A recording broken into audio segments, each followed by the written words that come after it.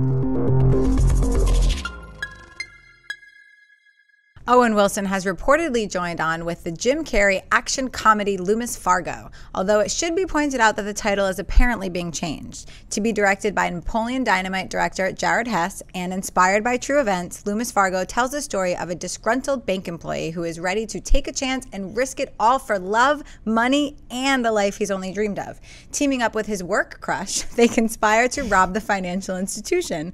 Together with their accomplices, the inexperienced criminals nab nearly $20 million, leaving a trail of evidence in their wake. Now, the only thing tougher than pulling off the heist will be getting away with it. Amy Rose, buy or sell Loomis Fargo? I'm gonna buy it. I think this sounds fun, and Jim Carrey, I think, will be really good in a role like this, comedy as well as you know more serious and a heist. Love me a good heist, so this could be a fun time.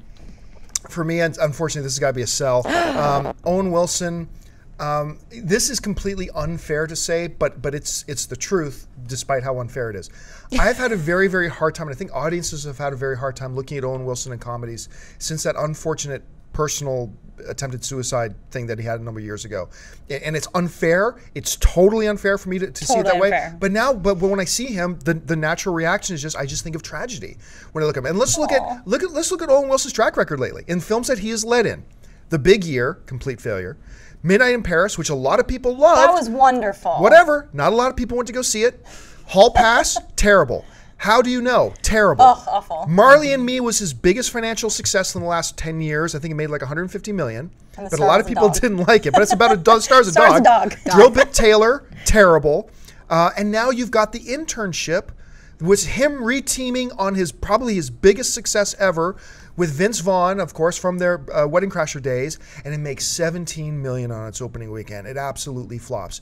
On top of that, you've got this director Hess, who directed uh, the one, the ultimate one-hit wonder movie with Napoleon Dynamite. So fun though. And then he that movie. followed it up with the absolutely abysmal Nacho Libre, which was just terrible. So I, I don't have a lot of faith. Oh, it pains me to say this because I, I I've loved Owen Wilson in so many things, in Zoolander and and obviously in Wedding Crashers and a lot of other stuff.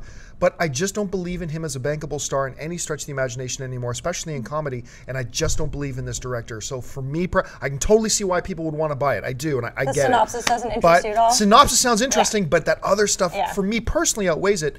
So for me personally, it's going to have to be a sell. Hey guys, if you like this video, hit the thumbs up button and make sure you subscribe to our AMC Movie News YouTube channel. It's free and we'll keep you up to date on all the latest movie news as well as our daily AMC Movie Talk Show.